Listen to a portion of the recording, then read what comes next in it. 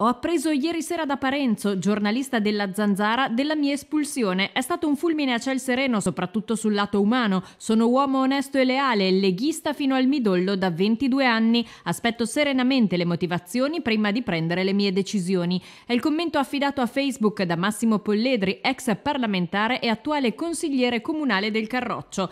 È stato infatti Parenzo a dare la notizia poco prima delle 20 leggendo un sms che gli era appena arrivato. Non è stato cacciato solo il sindaco di Verona Flavio Tosi, ma anche l'ex deputato piacentino Polledri. Lo hanno deciso nei giorni scorsi e non glielo hanno neppure comunicato, era il contenuto del messaggio. L'argomento ha tenuto banco ieri durante un incontro della segreteria provinciale finito a tarda sera. La posizione di Polledri era in sospeso dall'autunno 2013, da quando cioè la segreteria piacentina aveva chiesto al direttivo emiliano di espellere l'ex parlamentare parlamentare, da anni in contrasto con il gruppo dirigente leghista locale. Il segretario Pietro Pisani ha commentato così.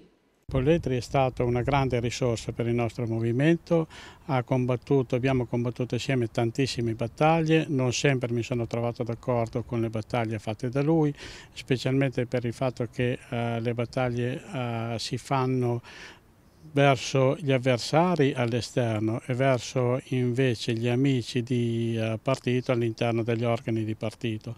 Comunque è stato un valido, un valido militante del movimento, un autorevole rappresentante per Piacenza della Lega. Mm, è stata assunta questa decisione eh, poiché eh, sono state valutate alcune cose non condivise dai vertici del movimento.